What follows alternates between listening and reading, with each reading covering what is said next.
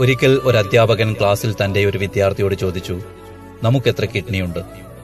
നാല് അവൻ മറുപടി പറഞ്ഞു ക്ലാസ്സിൽ കൂട്ടച്ചിരി മുഴങ്ങി. അവന് പക്ഷേ ഒരു ഭാവവ്യത്യാസവും ഉണ്ടായിരുന്നില്ല. കുട്ടികൾക്ക് പറ്റുന്ന ചെറിയ തെറ്റുകൾ പോലും പർവതീകരിച്ച് കാണിച്ച് അതിൽ ആനന്ദം കണ്ടെത്തിയിരുന്ന ആ അധ്യാപകൻ അതൊരു നല്ല അവസരമായി കണ്ടുകൊണ്ട് മറ്റു കുട്ടികളോടായി പറഞ്ഞു എല്ലാവരും കേട്ടല്ലോ നാല് കിഡ്നിയാണ് പോലും. ആരെങ്കിലും പുറത്തുപോയി കുറച്ച് പുല്ല് പറിച്ചു കൊണ്ടുവരൂ ഈ ക്ലാസ്സിൽ ഒരു കഴുതയുണ്ട്. അവന് തിന്നാനാ. ഉടനെ അവൻ പറഞ്ഞു എനിക്കൊരു ചായയും. ഈ മറുപടി കേട്ടതും ക്ലാസ് വീണ്ടും ഒരു കൂട്ടച്ചിരിയിൽ മുഴുകി. അധ്യാപകൻ അപമാനം കൊണ്ട് വിളറിപ്പോയി. കടക്കട പുറത്ത് അയാൾ വാതിലിന് നേർക്ക് വിരൽ ചൂണ്ടിക്കൊണ്ട് അവന്റെ നേർക്ക് ആക്രോശിച്ചു.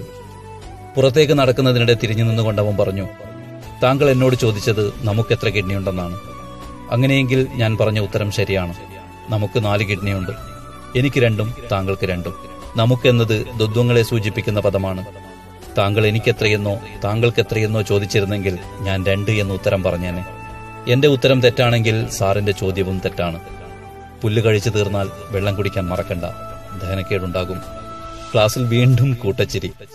അധ്യാപകൻ ആകെ എളിപ്യനായി നിന്ന് എപ്പോഴും മറ്റുള്ളവരെ പരിഹസിച്ചും കുറ്റപ്പെടുത്തിയും ആനന്ദിച്ചിരുന്ന അയാൾക്ക് ജീവിതത്തിൽ കിട്ടിയ ഏറ്റവും വലിയ അടിയായിരുന്നു അത്.